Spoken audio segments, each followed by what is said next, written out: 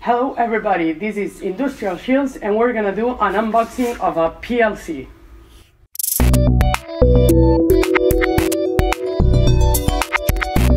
Follow me to the company's recording set to open it.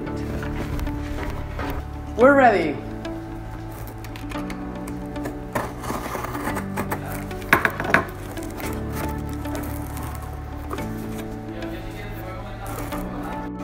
Focusing on the package, you can see that it's very compact and it prevents the PLC from being damaged.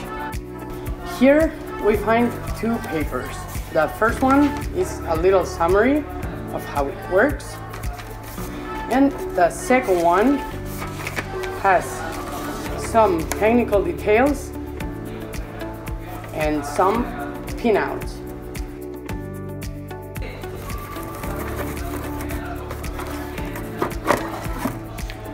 This is an Arduino-based Ardbox PLC with 20 digital and analog inputs and outputs.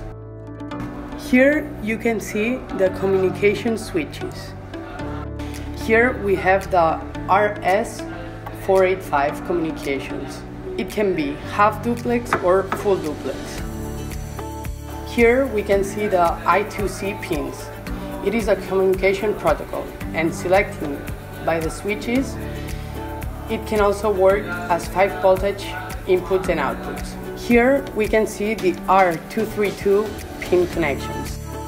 Here we have the SPI pins. We have the ground reference and the 5 voltage signal. We can see that there are 10 inputs. Two of these are only digital and the rest of them can be digital and analog. Here we are in the other side of the PLC.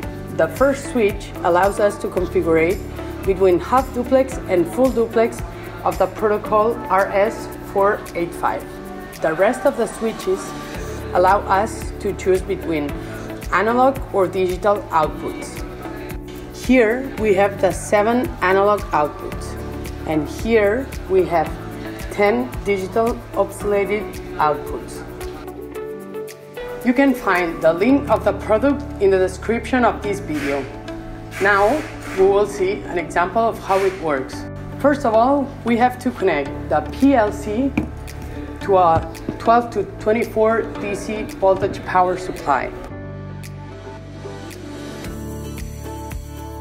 The next step is to connect the micro USB to the PLC and the USB to the PC.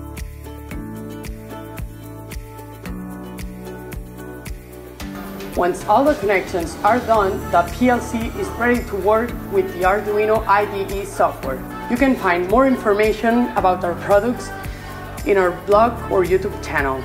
Don't forget to follow us on Facebook, Twitter, and LinkedIn.